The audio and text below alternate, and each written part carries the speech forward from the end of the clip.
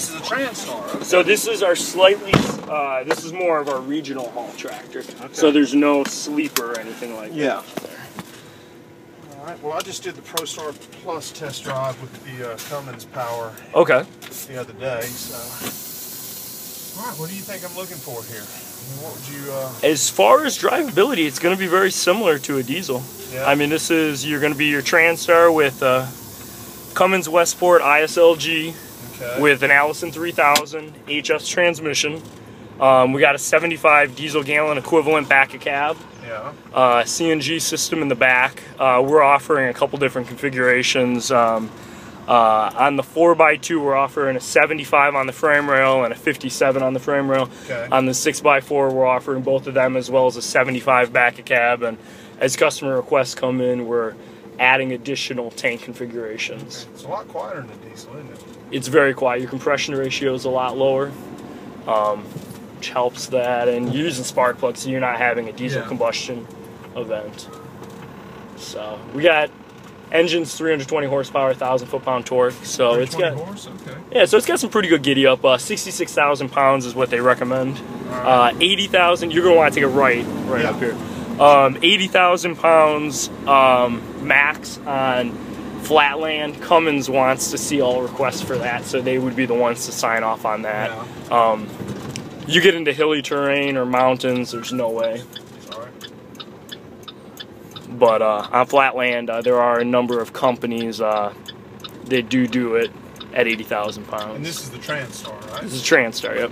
So we got a 107 inch bumper to back of cab with a sloped hood, so you get this is gonna have some really good uh, visibility compared to some of our competitors. Okay. Are you filming? Yeah. Oh, okay. Well, Jason can edit it. Let's go.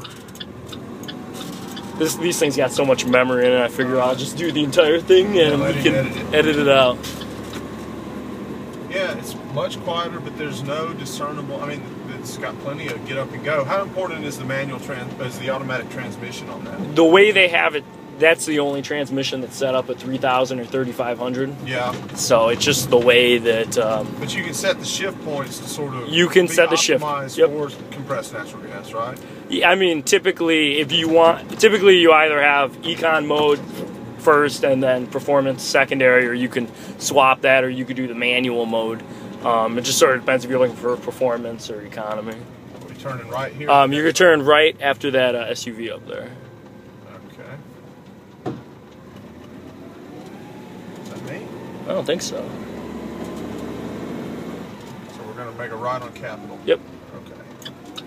I've done So- the drive every year, but you know, you, it hasn't changed. first, yeah, it never changes, but it's my first lap, so I want to make sure I'm doing it right. yeah, I asked the guy yesterday. I'm like, ah, this is my fourth year, I think, Okay, doing this. yeah. Are we good? So you enjoying the show? Yeah, it's been good. We're about to get out of here, so uh, Where's home at? uh, we're out of Alabama. Okay, So it's in this lane. I guess I'm we're at in Alabama. Tuscaloosa. Okay, so you got to be a big Alabama fan. I'm a third generation alum. I got to go to the uh, LSU game last year. The one last year? No, the one which we lost on, the field goal, the five missed field goals. I, I was Are you an LSU fan? no, no, no. I'm an well. I went to Northern Illinois University. Yeah. So, but uh, my good friend, his dad's the uh, dealer in Alabama. Oh, so, yeah, yeah, yeah. um, What's that guy's name? uh, Andrew Lynn. Yeah, yeah, yeah. So he sort of converted me to Alabama as There far as a team that has a chance of winning. Uh, So, um, Right now, it's more than a chance. It's uh, it's it's a, a dynasty. Yeah, It's a nice way of saying it. Saban is uh, he's uh, he's really putting it together pretty well. I know he's doing a good job, and Yeah, he's worth all the money he's getting. yeah, let me put it this way: there's just no place like going there for tailgating, though. It's fun. Well, I'm glad you like it. Yeah, no, it was a blast. You'll have to. Uh, we always do a tent down there. You need to come by and say hey next time. No, you're there. absolutely. I got. I tried to get out to a game this year, but we got a, a baby, so that, uh, there's a couple potholes down here. The wife didn't go for it this year, but hopefully when he's a little bit older. Get him some crimson gear and he'll be good to go. No, no, you're gonna go up another one. One more? Yep. Okay. Well, it's fun watching them play right now. They're really doing a nice job. So I had uh, we have a lot of Notre Dame uh, alum yeah, in I'm the sure, office, I'm sure. and uh, it was pretty funny before the uh, championship game. I was, uh, telling I said, "It's not going to be as close as you think it's going to be. You're going to want to get one lane over." Okay. and uh, they were pretty confident until that following uh, Tuesday morning. Well, I think they Or pretty chatty. They were. Uh, yeah, when that when they put that fourth unanswered touchdown in, that was uh, that kind of ended that. You know, I sort of Northern got to play Florida Yeah. in one of the ball games. I mean, I, I thought it was cool we made it. I mean, I didn't think we had much of a chance. Yeah. It was sort of like that. I mean, was, Notre Dame wasn't really in there. Uh, yeah, no, it wasn't much of a game. no. They. You're just gonna follow this guy. Yeah, I'm following him. Um, yeah, Bama, Bama crushed him pretty good. So. Oh. Ooh. I was trying not to do that. I appreciate that. I just did get the alignment done on this truck. Yeah. So, what are you guys seeing as far as CNG? It's it's just coming on stronger and stronger every every show. I mean, there's more. The take rate I think is surprising some people. It's getting up there. I mean, Yeah. this year specifically, it's uh,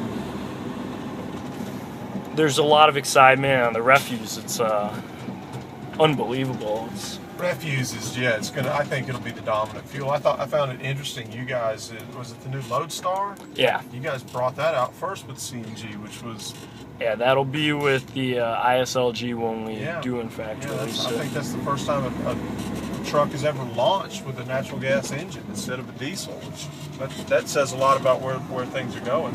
Yeah, no, it's uh, interesting times. That's for sure. This thing, will, this thing will go.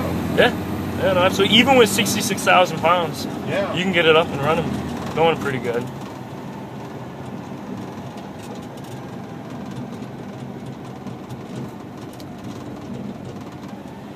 And as far as operation goes, it's pretty much the same as Yeah. the diesel from Yeah. the operator standpoint. I mean, the biggest difference you're going to have is obviously the fuel gauge Right. is going to have to analyze the pressure in the Yeah. tank. So there's a conversion going on in that. And when we get back, I'll show you how the tank works.